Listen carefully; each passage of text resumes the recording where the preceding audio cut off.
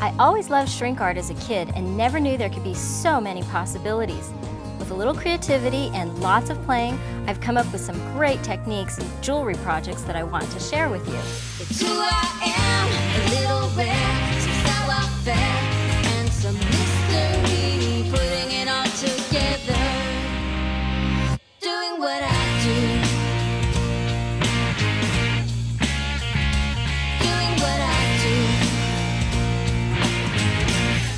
Shrink art has been around for a long time, and with the invention of these new inks that dry on the plastic, the possibilities are endless. I'm making this great little pin here with these little rings hanging from the bottom.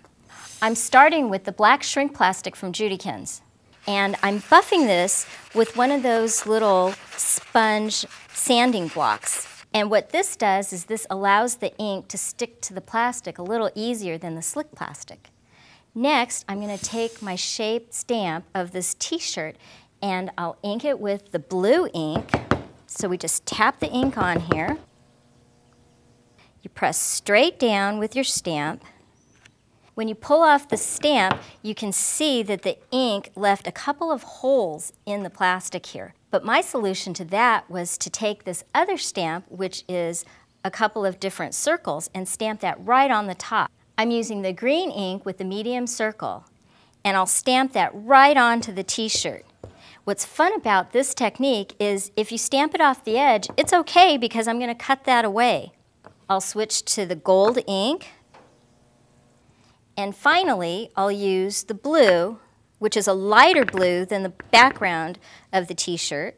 Next, I'll cut this out, but I have to cut it out very carefully because the ink will smudge. And here's one that I've cut out and I've already punched the holes in it.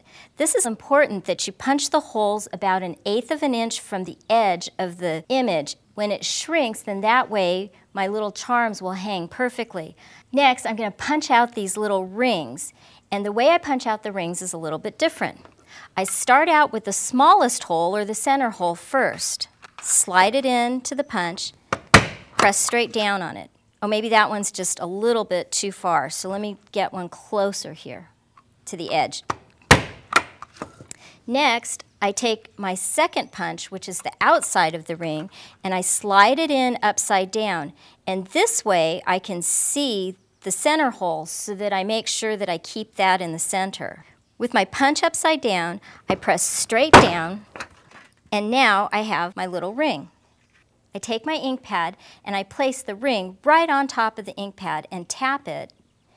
And you can see that adds the ink right on the black plastic here.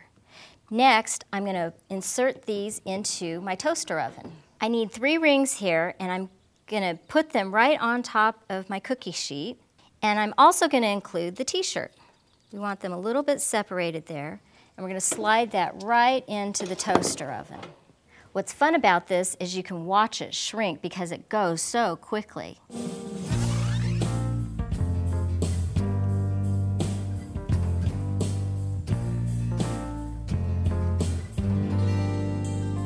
Now it looks like it's done shrinking because it's as small as it's going to get.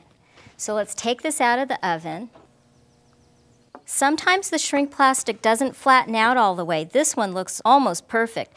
That little ring doesn't seem to be as flat as it can be, so I can take my stamp and just press down on that lightly, and that flattens out the rings. Here is my finished pin. I added the rings with little jump rings at the bottom of the shirt, and then I glued on a little pin back with some silicone glue, and now I have a finished shirt pin.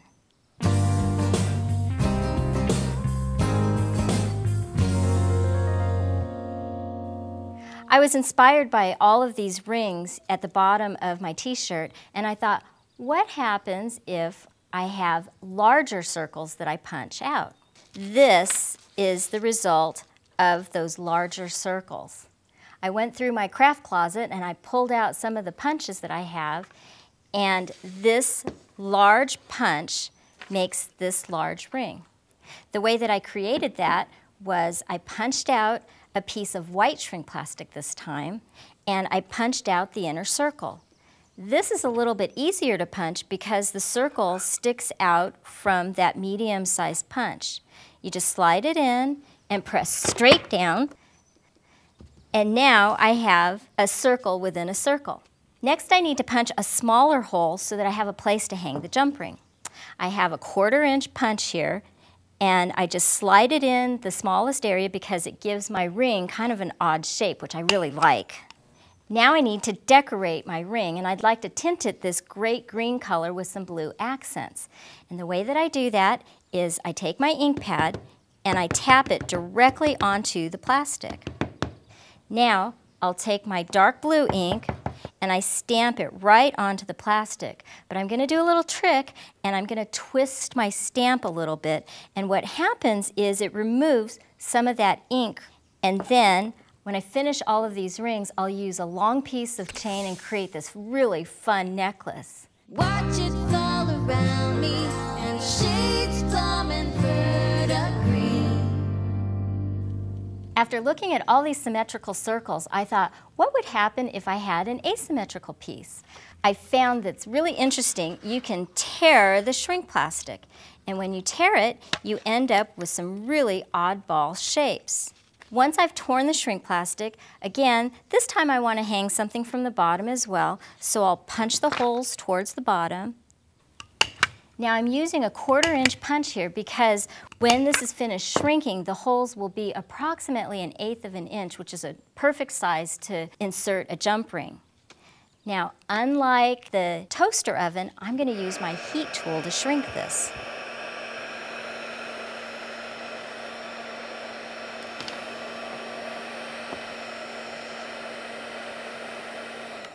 Now once it's done shrinking, before it's completely cooled off, I'm going to apply a little extreme embossing powder because this is going to create the peacock extreme look. You just take your embossing powder and just sprinkle that carefully on top of the black plastic. Unlike the other times where I usually shake off the excess, I'm just going to heat it right back up because some of that embossing powder is going to stick to the plastic. What's great about this embossing powder is you notice the little bit longer that I've heated it, I end up with a copper color, and the areas that weren't heated as long are kind of a turquoise green. This actually looks like dichroic glass. If I add one layer of diamond glaze, which is a clear dimensional adhesive, it really seals that embossing powder right onto the plastic. I'll just spread it out with my paintbrush and just let that dry. You want to put your paintbrush in a little cup of water because if the diamond glaze dries on your paintbrush, it's kind of glued the bristles together. Once this is finished drying, I add the little circles at the bottom and then apply a pin back on the back of this to make it into a pin.